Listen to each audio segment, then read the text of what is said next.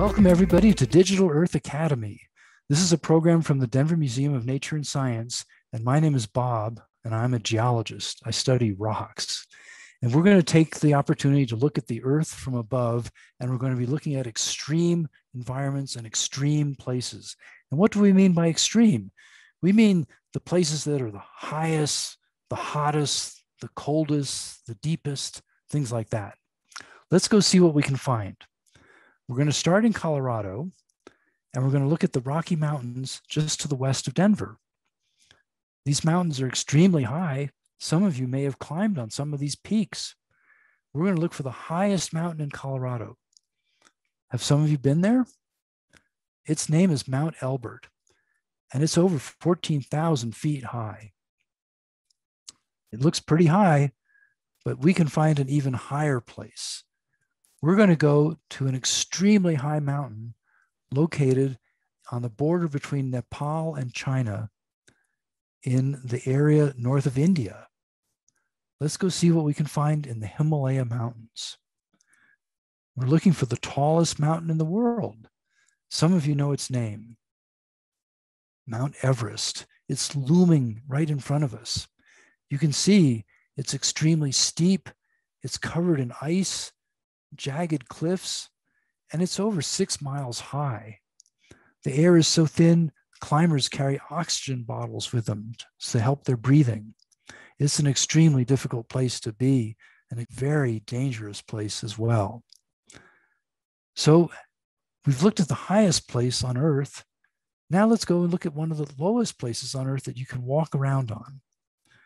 We're going to go to the Dead Sea, an extremely low place, well below sea level, where it's very hot.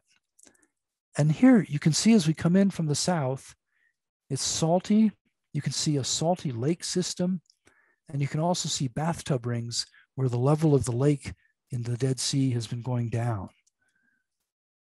Now, where do you think the deepest place in the world is? It's going to be the bottom of the ocean.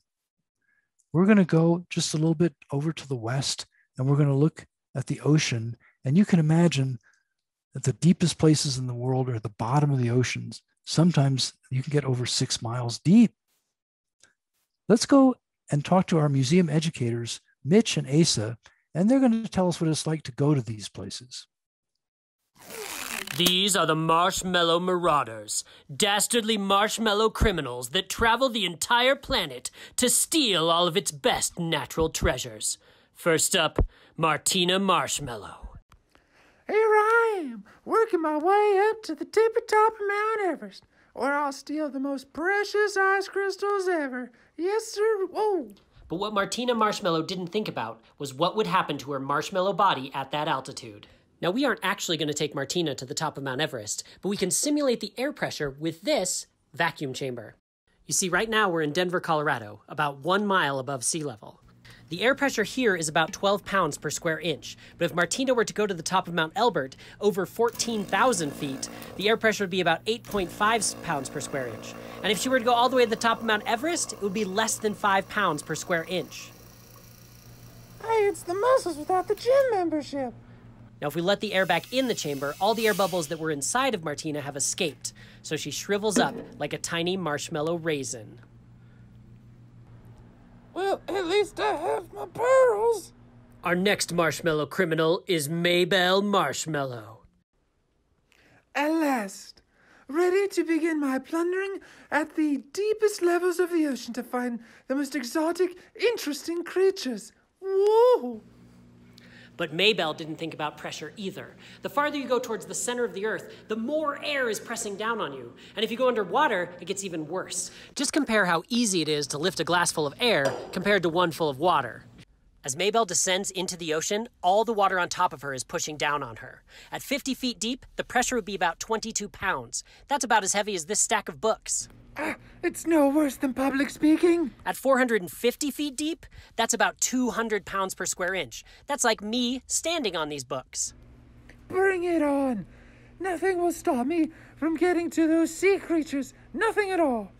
I. Oh, there's a spot on the ceiling. And if Maybelle were to go all the way down to the bottom of the Mariana Trench, that would be 16,000 pounds per square inch. That's four elephants standing on top of each other. Now, I don't have four elephants. Huzzah! So I'll have to find some other way to simulate that. Oh, drats. This isn't terribly precise, but at the bottom of the Mariana Trench, Maybelle would experience something like this. Whatever. I never wanted those sea creatures anyway. Okay, now we're going to go to the coldest place and the hottest place on the surface of the earth.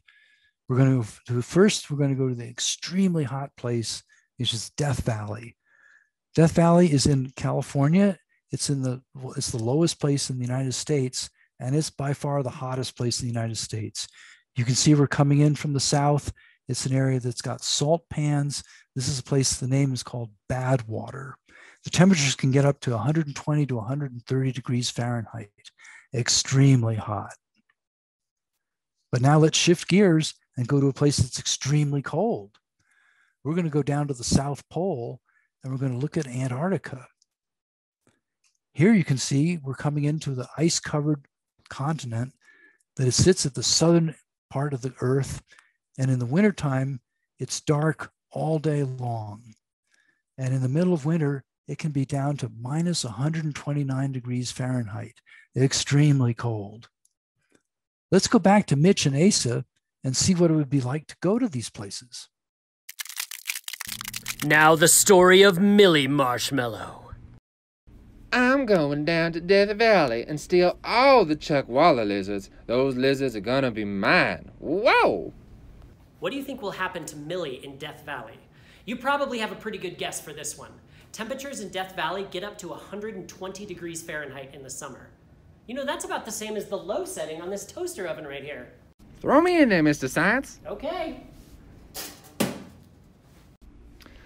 This is nice. I'm actually gonna lie down. I feel like I'm getting a nice tan. Wow, I'm so relaxed right now. Why don't you just bring me the Chuck Chuckwalla lizards, Mr. Science? Hey now. Hey, let go. Stop it. Stop it. Put me back. Put me back in the toaster. Next up, the story of Mason Marshmallow. Out of my way. I'm going to Antarctica to steal some penguins. Yeah, I'm gonna get those penguins. Ha ha. All right. Whoa. It's not very smart to go to the coldest place on Earth without a coat, no matter how cute your little hat is.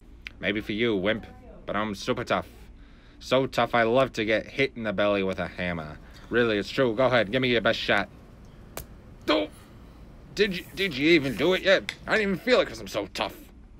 For this experiment, we're going to use dry ice, most famous for making cool, spooky effects at your Halloween party. Now, it's not quite as cold as Antarctica, but at negative 109 degrees Fahrenheit, it's pretty cold.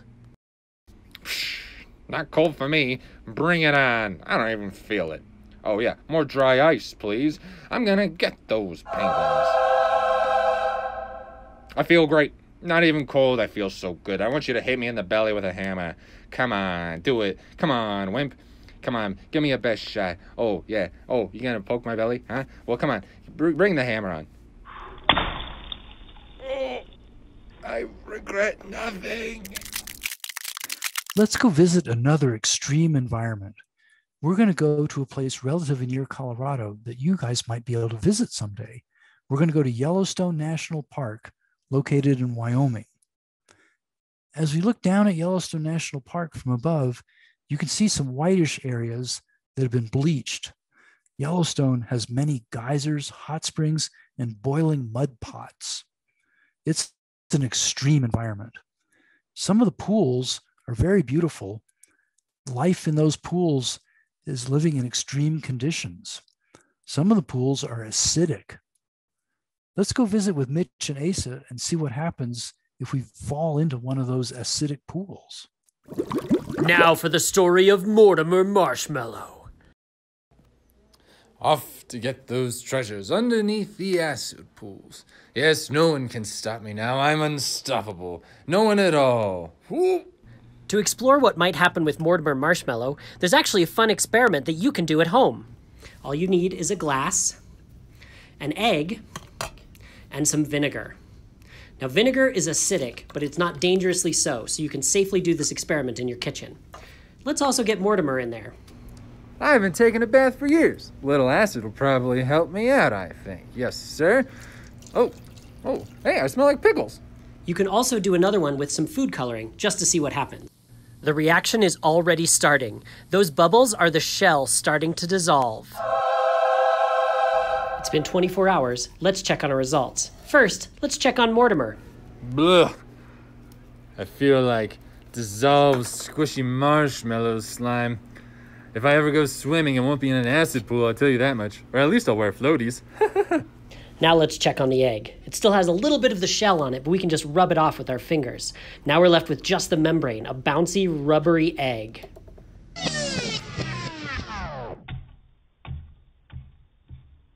I made a few more eggs in different food colorings. The food coloring actually seeps through the membrane and colors the egg. That dark spot is the yolk. Now these eggs are rubbery and bouncy, but how bouncy? Couple inches? No problem. About a foot? No problem. Foot and a half? Splat. And now you can see all that's left of the membrane. It's just a thin, almost translucent layer. That was a really fun experiment. But vinegar doesn't even come close to the acidity of the most acidic environments on Earth.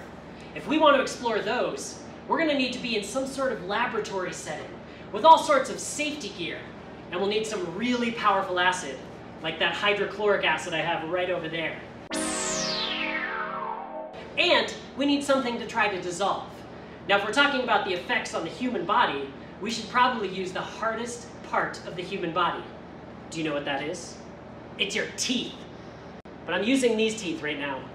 Man, where can I get some extra teeth that I could use for a science experiment? The tooth fairy could help. Oh, tooth fairy, awesome. Do you have some teeth I could borrow? Do I have teeth? I have oodles of teeth, bags of teeth, whole treasure chests of teeth. But you might not need that many teeth. These are from our friend Rohana. She lost them as a baby, but grew new ones, so she doesn't need these anymore. Wow, thanks, tooth fairy. Anytime. If you have any. Wait, did you hear that? Somebody just lost a tooth and put it underneath the pillow. I must be off. Goodbye! Okay, thanks, Tooth Fairy. All right, now we've got some teeth, we've got some hydrochloric acid. Now we can do an experiment to see if your teeth would dissolve in acidic pools at Yellowstone. Now this is going to take some preparation, so you're going to have to come back and join us for the regular Digital Earth Academy for this experiment. All right. Well, thank you, Mitch and Asa. We've uh, have, hope you've enjoyed this introductory video, and we invite you to join us for the full Digital Earth Academy coming up, and we'll find out what happens with the Tooth Fairy. See you soon.